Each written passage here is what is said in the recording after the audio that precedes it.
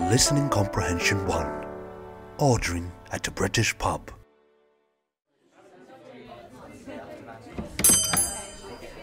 Hello, can I get a glass of water, please? A water? What are you gonna do? What are your lilies?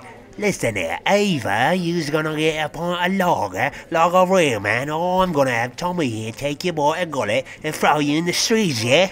Yes, well, I'm actually driving, so I'll just take the water, please. Ah, I can't believe what I'm hearing. What's one pint of lager gonna do? What, are you scared you's gonna hit someone whilst you're driving? Ah, fine, I'll pull you's a cider. No, actually, listen, I can't. Listen here, you clanch. You's starting to get on my nerves, yeah? I don't even know what you is doing. You can get water anywhere. Hell, you can get water out of a f***ing toilet bowl, yeah?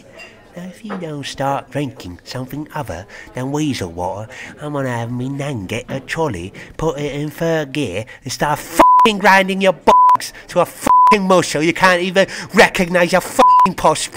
Then Tony's gonna come in here with his bat, and he's gonna start wailing on that thing you call precious, and then I'm gonna make salad out of it and stuff it in your f***ing asshole, you f***ing prick.